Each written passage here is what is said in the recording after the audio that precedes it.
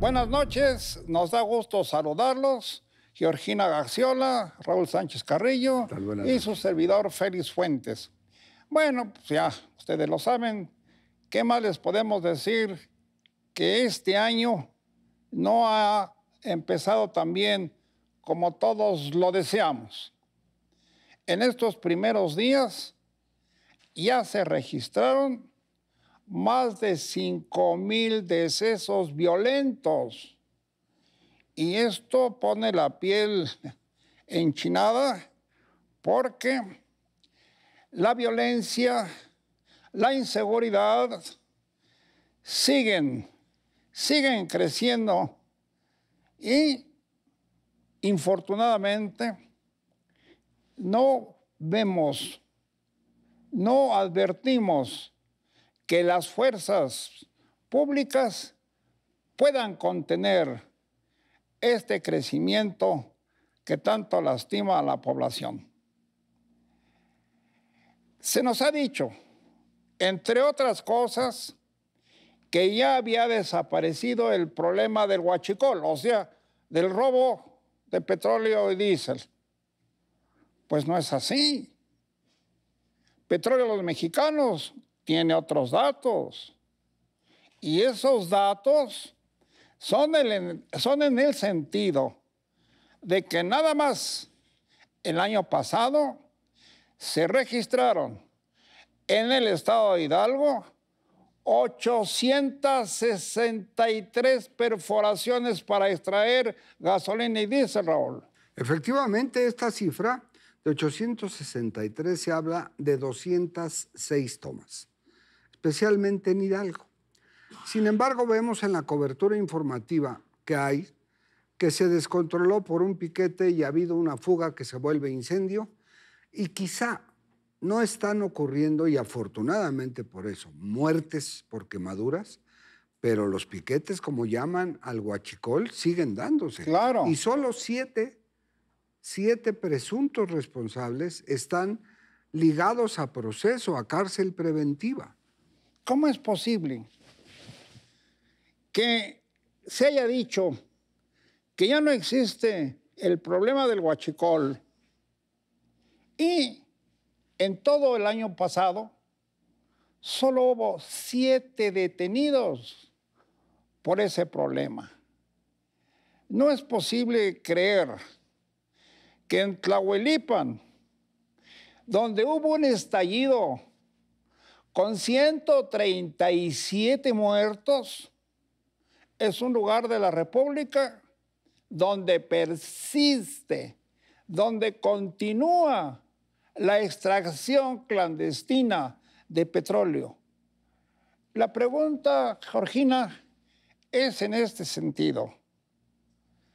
¿Qué petróleos mexicanos no tiene suficiente personal de vigilancia que la Procuraduría o la Policía Preventiva del Estado de Hidalgo, para mencionar este caso en específico, también carece de personal para la vigilancia y el impedimento de tantos y constantes robos, porque como decimos, esto no vemos que disminuya. No, y hay que recordar que la vigilancia del Huachicol se mandaron a los militares y en esa desafortunada explosión los veíamos allí sin poder controlar a la población que estaba sacando, haciendo los piquetes. Eh, la verdad es que el Huachicol continúa, parece que hay una descoordinación con Comunicación Social y Pemex sobre la información que otorga el gobierno federal. Eh, sigue, sigue sucediendo y no solamente gasolina, ahora también eh, el gas. Esta es otra noticia que tenemos, Raúl. Y la verdad lo habíamos pasado por alto, porque no nos imaginábamos. No había información. Ni nos habían informado que el robo, la extracción clandestina a través de tomas clandestinas estuviera sucediendo con el gas natural, con el gas que ustedes necesitan para el consumo de sus hogares. Pues los saqueos son enormes de este elemento tan fundamental. Se nos dice también que en todo el año 2019 hubo cientos, miles de, las, de perforaciones en los gasoductos, donde en este caso los hidalguenses obtienen, extraen todo el combustible que quieran de esa naturaleza y no hay quien los contenga. Dice Santiago Nieto que hay 83 cuentas congeladas relacionadas con el huachicol. Contra siete detenidos, no da. No da una cifra con otra, por una parte. Por la otra, lo que tiene que ver con la presencia de la Guardia Nacional desplegada para vigilar todo lo que es la red de gasoductos y de oleoductos, pues no se da suficiente, porque saben dónde perforar y a qué hora. ¿Cómo se detecta que se están robando gas o combustible? Porque la presión en los señalamientos de los tableros del envío que se hace por los distintos gasoductos baja de nivel, lo que implica que la presión tiene una fuga que es precisamente un Correcto. Pero a ver, este señor Nieto dijo de quiénes son esas cuentas congeladas. No. Esa es la cuestión. Sabemos que hay aquí rateros, sabemos que también hay acá rateros, pero no los detenemos, no los consignamos, ni siquiera sabemos cómo se llaman. Ah, pero ya les congelamos cuentas bancarias. Qué buena onda, ¿no, Georgina? Sí, y la verdad es que el gobierno federal, hubo un llamado de atención de parte del gobierno federal a los gobernadores que no cooperaban con la, eh, con la seguridad y con la, minimizar la violencia. Los gobernadores, por cierto, se quejan de que el gobierno federal no les da el dinero a que tienen derecho y que ya fue aprobado por la Cámara de Diputados. Ustedes han de saber que en la Cámara de Diputados son aprobadas las cantidades que van destinadas a cada entidad federativa. Por tanto, no hay por qué escamotearles un solo peso a los gobernadores y es a lo que deben tener y tienen derecho. Y se endeudan y tienen cantidades enormes de deudas. Y otros, como el de Baja California, el recién llegado, pues dice que había que elevar impuestos. Primero se dijo que no iba a haber aumento de impuestos en ninguna entidad. Se dijo también que no subiría el precio de la gasolina ni el precio de la electricidad y tampoco habría nuevos impuestos de nada.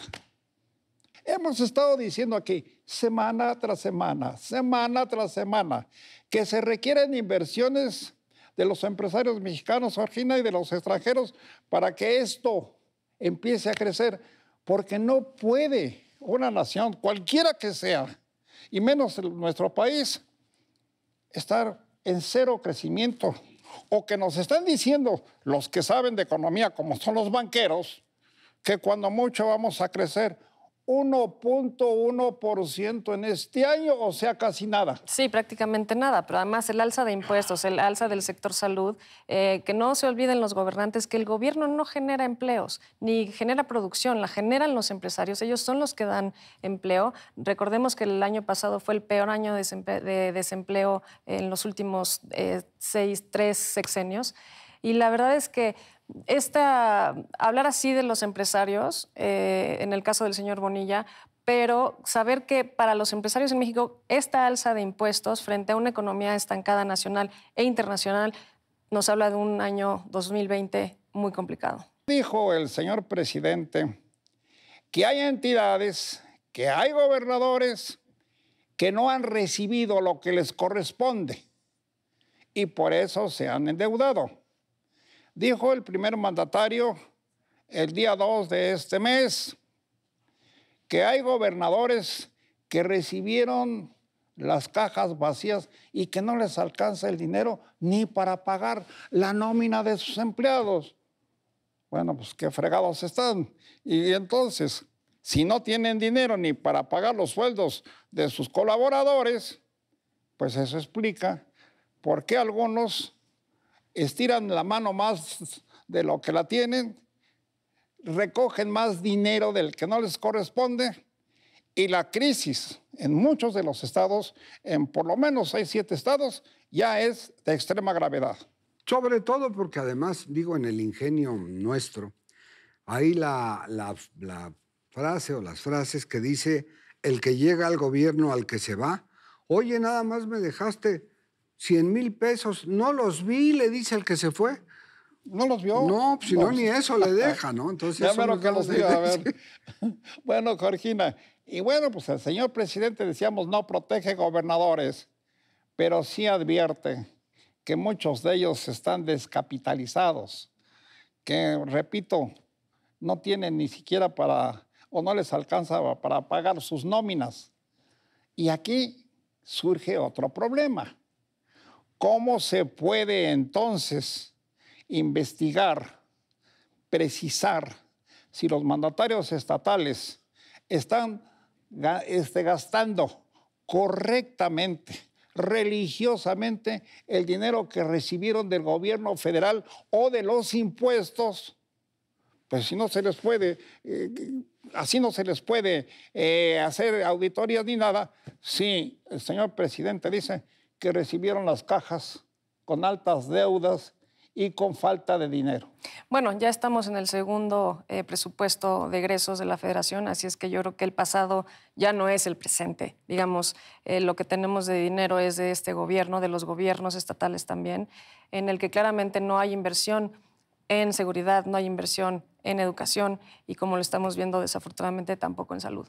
Pues vamos a procurar todos a buscar a la buena un dinerito extra porque este año no está pintando bien, está complicado. Y ojalá que la verdad se lo decimos de todo corazón nos vaya bien, porque la situación no es para echar campanas a vuelo pues se nos va el tiempo, ¿no? Así es, y bueno, para cerrar, yo diría que uno de los problemas principales por décadas es que los gobiernos estatales no cobraban, y los municipales menos, los impuestos que corresponde que cobren. Ah, pues ahora ya están cobrando hasta la luz eléctrica y Bartlett ya salió con lo suyo, ya subió el 5% y se decía que no iban a cobrar la luz, pero bueno, les decíamos que ya se nos va el tiempo, nos vemos a la próxima, que ustedes estén muy bien y que sea, repetimos, un buen año para todos.